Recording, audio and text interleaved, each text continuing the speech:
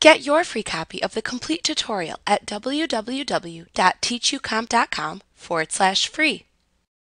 Each time you create an invoice or sales receipt that includes sales tax, QuickBooks enters the information into your sales tax payable account register.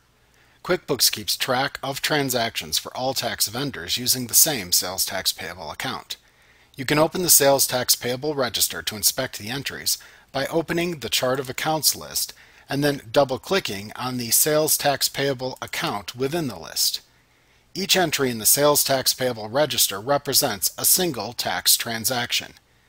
Taxes you record on invoices and sales receipts appear as increases to the account balance, and payments you make to tax agencies appear as decreases to the balance. The ending balance of the register is the current tax liability. Some transactions within this register may have the same invoice number shown. When you record two sales tax items in the same invoice or sale, often when using a sales tax group, the register makes a separate entry for each separate tax collected. Like what you see? Pick up your free copy of the complete tutorial at www.teachucomp.com forward slash free.